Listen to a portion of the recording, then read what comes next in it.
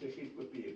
Попри те, що хмельничани відчувають ріст цін на продовольчі товари, керівництво області та працівники агропромислового комплексу констатують.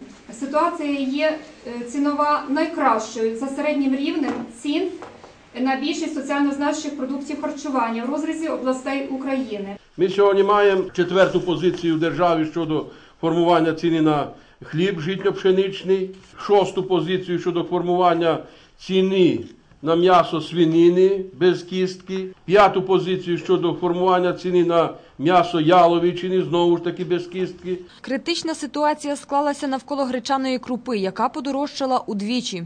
В жодної області такого прикладу немає, навіть близько.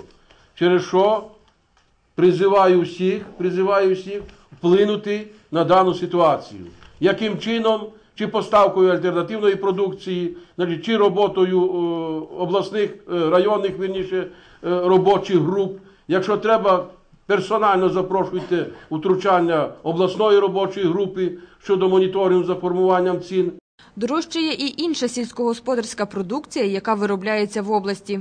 За 10 місяців поточного року область ви- виробила півтора мільярда штук яєць. Ми маємо одну із найбільших в Європі птахофабрики ПАД агрофірма Авіс. Нормальна відпускна ціна одного десятка яєць на попад агрофірмі Авіс та Яронецькій птахофабриці становить 11-12 гривень. Чому тоді ж е, на обласному продовольчому ринку вона становить е, на 18 листопада майже 17 гривень? У департаменті агропромислового розвитку пропонують створити фірмові магазини, які дозволять зменшити ціну на продукцію.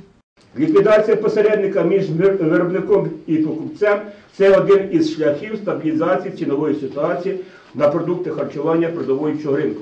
Стрибок цін могли спровокувати і зменшення перевірок, вважають у департаменті економічного розвитку та торгівлі. Недостатній рівень контролю за ціновою ситуацією залишається в районах Дунаєвецькому. Перевірено на 71% менше населених пунктів, ніж аналогічний період 2013 року. У Полонському районі перевірено на 20, майже на 30% менше населених пунктів. Місто Хмельницький перевірено на майже на 76% менше закладів, ніж за відповідний період минулого року. Кількість зменшилася з 228 до 55 закладів.